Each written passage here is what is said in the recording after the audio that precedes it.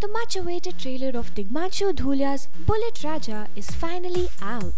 As the tagline goes, Aayenge to garmi badayenge, the trailer has sure set the heat on. The film will feature Saif Ali Khan and Sonakshi Sinha in leading roles, while Jimmy Shergill, Ravi Kishan, Chunky Pandey, Vidyut Jamwal, and Saina Dukkipati will feature in pivotal roles.